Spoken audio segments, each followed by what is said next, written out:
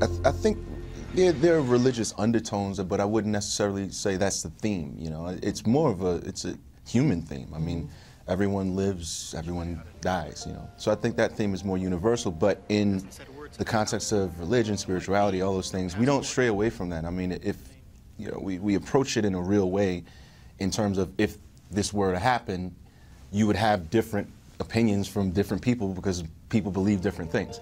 Jacob? I'm Agent J. Martin Bellamy. You can call me Marty.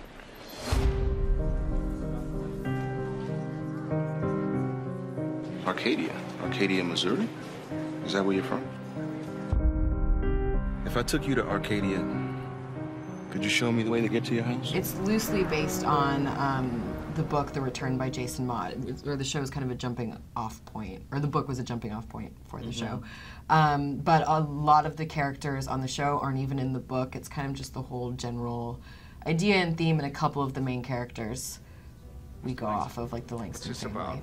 Did your son go missing, sir? Why? I haven't. He's okay. My son died 32 years ago. Daddy!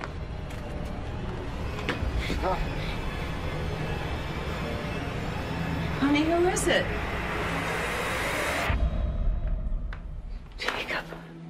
It's a character-driven drama, really. That's what it, it's not. It's not sci-fi. It's not. It's it's hard. It, it's really the way I connect to it is it's about these characters, right. and it's it's about them dealing with this phenomena, and, and you know, again, it happening in the confines of this town makes it more of a family-driven, uh, family drama type of show. So it's it's not. It doesn't have the undertones of you know some like zombie show or something like that. That's like really supernatural sci-fi.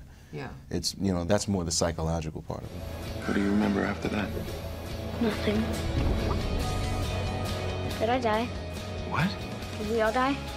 I don't know. How he got here on this earth.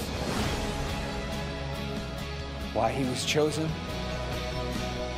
But isn't that the price of human understanding? Jake.